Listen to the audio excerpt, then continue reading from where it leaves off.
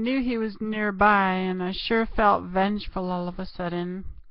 When someone tries to get over on you, well, anyone might naturally want to get back at them. And there's nothing compares to the feeling you get when you steal from a thief. I was restless, and I went back outside, wondering what would happen next. Sometime the world feels like it's stopped moving. Everything seems hopelessly quiet and still, and you either like it or you don't. That sort of stillness. Maybe you look for a way to silence the stillness, to silence the silence. Streaming some jazz, Yardbird or Lee Morgan on the horn. Anything to sink a bolt into the unbearable space. Or maybe you're more like me and savor the stillness. Life was really happening and the world was definitely spinning. All I knew was something's gonna happen and it has got to be good. Outside there was the post and my coil lock, a defeated snake cut up on the ground. There was the adrenaline rush came over him when he made away with the whole bike. No kryptonite. People walking up and down the street, unaware. I could see it all going down. I dropped myself down in one of the big old upholstered armchairs in the formerly spectacular lobby turned archetypal setting for a low-rate generic horror flick some called home. A distant scream from better times. And waited. Oh, the madness of Oakland, California. I wasn't upset any more. I knew he was coming. I could feel him in the stale air. I was more disappointed by his underestimation of me.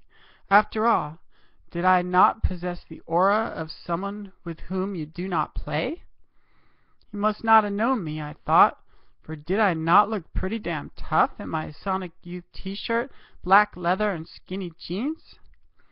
My best friend Bless and I dyed our hair the other night, and she turned me on to the idea of a silver streak in a half-spiked pixie which caught the sunlight well. Maybe glued the wrong eyes on me, but I didn't mind. The thief he could have took me for just another punk, but I was nevertheless definitive not to be fucked with material. I don't care if he was senseless. I thought I was pretty damn cool, and I didn't have a cigarette hanging off my lip, and I hadn't died by twenty-seven like all the rock stars, no. The stars are bright, the stars are alight, the stars come out tonight. And the world, she is fresh after the rains. And I think I'm pretty cool, but I don't rock the latest iPhone or anything.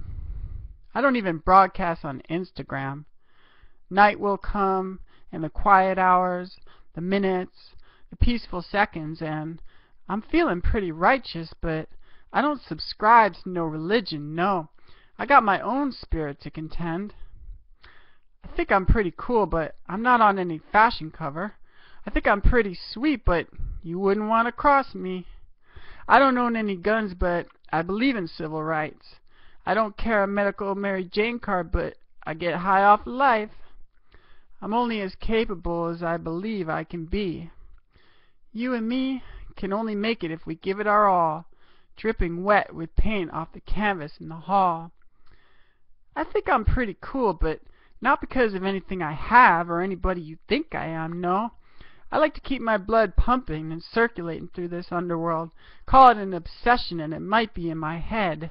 The motivation is to shine a light for anyone in the darkness.